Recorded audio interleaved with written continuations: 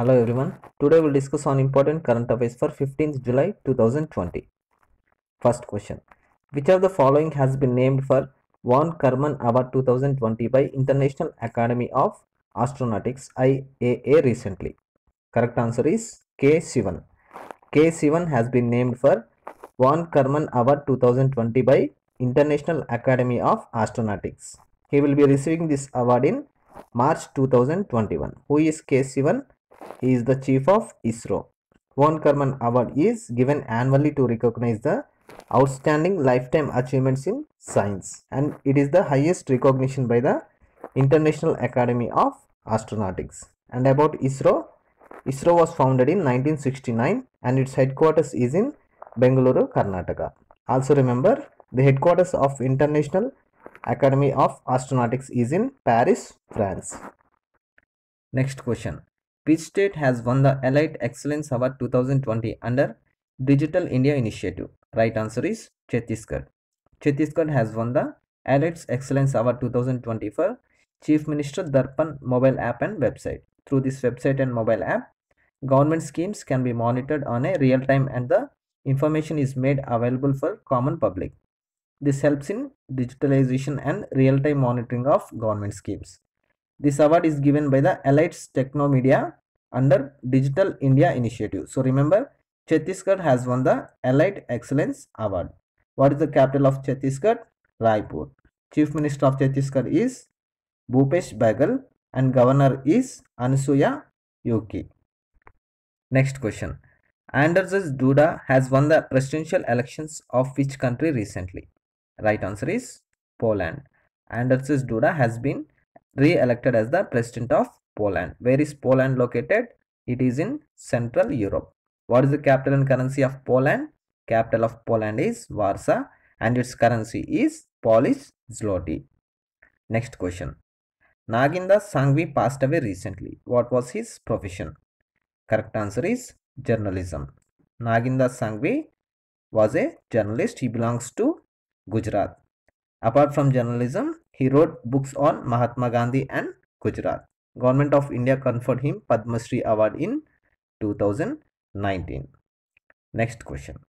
Who is the author of the book titled A Song of India which will be released on 20th July? Right answer is Ruskin Bond.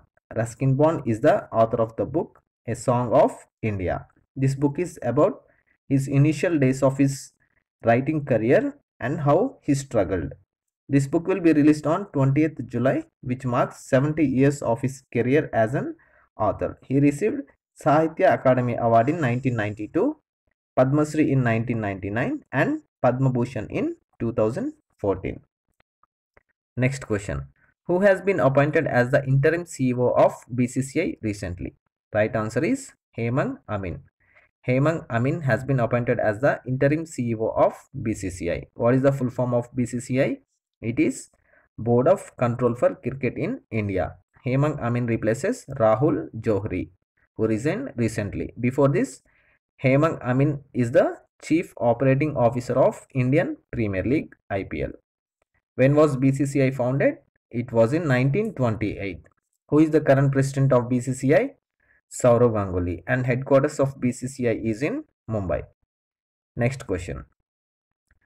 Rudrendra Tandon has been appointed as the next ambassador to which country recently? Correct answer is Afghanistan.